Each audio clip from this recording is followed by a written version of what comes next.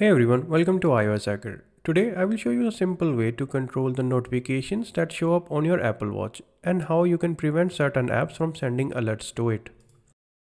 Apple Watch notifications can become overwhelming. No one wants to receive a distracting notification from an app while they are in the middle of a meeting, at office or spending time with family. Thankfully, WatchOS gives you complete control over notifications on your Apple Watch.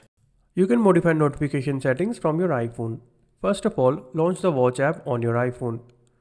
From the My Watch page, tap on Notifications option.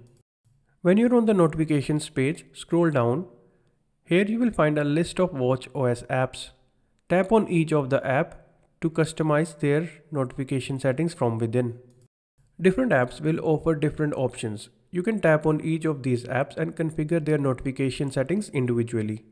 Now return to the main notifications page and scroll down. Here you will find a list of all the iPhone apps that your Apple Watch is mirroring alerts from. You can go through this list of apps and turn off the toggle next to their name. This will turn off the notifications for those apps. When you turn off the Apple Watch notifications for irrelevant apps, you can make your Apple Watch distraction free, which will help you stay more productive throughout the day.